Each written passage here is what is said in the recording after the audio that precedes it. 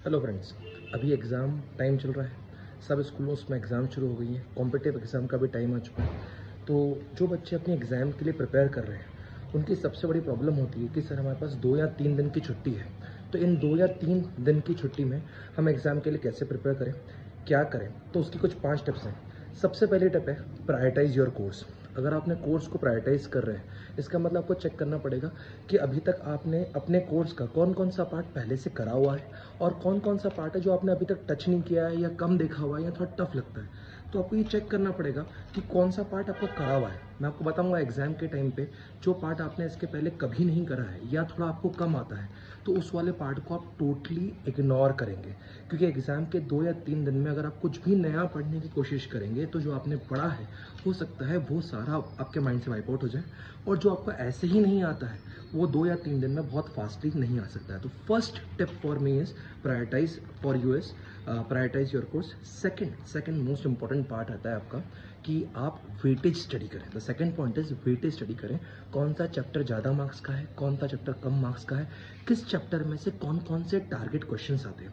जो चैप्टर हो सकता है, बहुत बार बहुत छोटा सा चैप्टर है, एक दो क्वेश्चन आते हैं, लेकिन चार पाँच मार्क के आते हैं तो वो चैप्टर होता भी जल्दी है और उसके मार्क्स भी इसलिए आते हैं। इसको बोलते हैं स्मार्ट स्टडी कभी कभी क्या होता है, कोई चैप्टर आपको पसंद होता है, कोई चैप्टर बहुत लेंदी होता है बट उसमें से नंबर ऑफ़ क्वेश्चन कम आते हैं। आप बहुत बार उस लेंदी चैप्टर में अपना बहुत सारा टाइम इन्वॉल्व कर देते हैं, लेकिन उसका एग्ज़ाम के रिज़ल्ट पे इफ़ेक्ट इन्वर्सली होता है।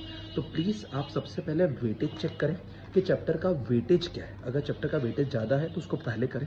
The third important point never ever involve in group study at least in the time of exam अगर आप एग्ज़ाम टाइम में खुद की सेल्फ स्टडी नहीं कर पा रहे हैं, अगर आप ग्रुप में बैठे हैं तो हो सकता है वो इनडायरेक्टली आपको उस समय तो ईजी गोइंग लगेगी स्टडी बट आप जब एट द एंड अपने घर पर आते हैं तो आपको मालूम पड़ता है कि आपने खुद की कुछ की स्टडी नहीं करके या तो आप दूसरों को पढ़ा के आ गए, या आप दूसरों के साथ मस्ती करके आ गए।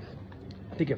The fourth point is always make a study plan. अगर आपको एक दिन या दो दिन या तीन दिन की छुट्टी मिली है तो उसमें आप जैसे ही पेपर दे के आते हैं, उस पेपर देने आने बाद शाम को जब भी आप फ्री होते हैं, फ्रेश माइंड होता है तो आप एक स्टडी प्लान बनाएँ कि आप फ़र्स्ट डे पे क्या करेंगे, सेकेंड डे पे कौन सा कोर्स करेंगे, थर्ड डे पे कितना पार्ट करेंगे, और डू ये अपने प्लान में बिल्कुल इन्वॉल्व रखें। द फिफ्थ इंपॉर्टेंट पॉइंट कि जब भी आप अपना पूरा कोर्स प्लान कर रहे हैं, आप उसको लास्ट मिनट तक पूरा कोर्स प्लान ना करें।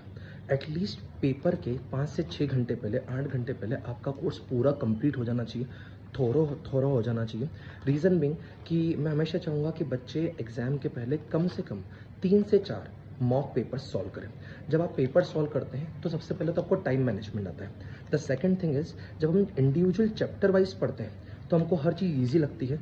बट जब हम पेपर सॉल्व करते हैं तो हर चैप्टर के क्वेश्चन मिक्स होके आते हैं। तो जब मिक्स क्वेश्चन आते हैं तो बहुत बार हम किसी चैप्टर का फॉर्मूला भूल चुके होते हैं। बहुत बार हम चीज़ों को रिकनेक्ट नहीं कर पाते हैं। तो एग्ज़ाम में ऐसा हो, इससे पहले, उसके एक दिन पहले, कम से कम आपके चार से पाँच mock papers previous year papers दूसरे स्कूल्स के पेपर्स सॉल्व हो जाने चाहिए, ताकि आपको खुद की एबिलिटी खुद का स्टडी प्लान और खुद का एग्ज़ाम प्लान समझ में आए कि आपको कौन कौन से पॉइंट पर वीकनेस हो रही है। बहुत सारी एनजाइटी बहुत सारी एनजाइटी जो डायरेक्टली आपकी एग्ज़ाम टाइम पे आती है। मतलब अचानक मुझे कुछ याद नहीं आ रहा, मैं फॉर्मूले भूल गया, या मेरे को क्वेश्चन का आंसर नहीं आ रहा कैलकुलेशन प्रॉब्लम आ रही है।